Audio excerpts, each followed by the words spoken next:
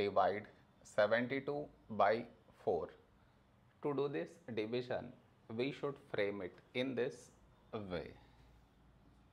72 here, 4 here.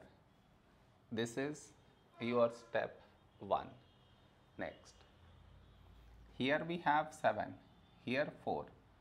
A number close to 7 in 4 table is 4 ones 4. Now we should subtract, we get 3. After this, bring down the beside number, so 2 down, so 32. When do we get 32?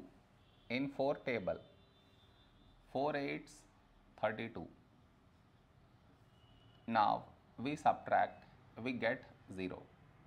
After this, no more numbers to bring it down and we got remainder 0.